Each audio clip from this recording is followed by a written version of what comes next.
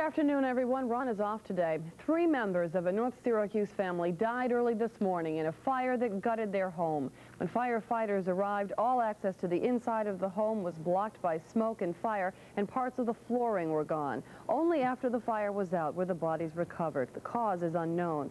The victims are identified as 22-year-old Kris Cagwin, her 17-year-old brother Joshua, and 16-year-old sister Jennifer. Cicero North Syracuse High School dismissed classes early this morning in honor of Joshua and Jennifer, who were students there. About 150 students at the high school stayed behind to talk over their feelings with teachers and counselors who made themselves available. There was another fatal fire early. Old Joshua and 22-year-old Kris Cagwin. This morning, North Syracuse High School dismissed students early and offered counseling to anyone who requested it.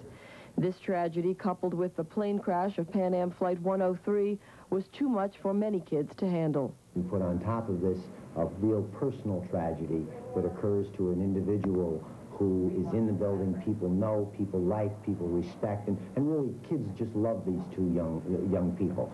And when you put that together, there's a lot of emotions that pour out. About 200 students stayed behind to get some counseling or just a shoulder to lean on. Classes that we did have, they were, no one, we didn't do anything because everybody was just so upset. Nobody could speak, nobody could do anything. I mean, it's such a shock. The classes that we did have, they were, no one, we didn't do anything because everybody was just so upset. Nobody could speak, nobody could do anything. I mean, it's such a shock. Do you know this, any of the kids? I knew Josh. He was on my wrestling team. And he was a great wrestler. I mean, he was fantastic. He had so much going for him. And Jennifer also uh, was on a member of the basketball team. Both were very good athletes. And I, I really think that the, uh, that the school ma made the right decision. You know, so many young lives taken this week in such a violent way that it really was a lot for the kids to handle and to have uh, clergy there. Clergy will be available and counselors today, I really think was uh, a good thing for the school district to do because there was just a real somber sort of a pall over the school this morning out there.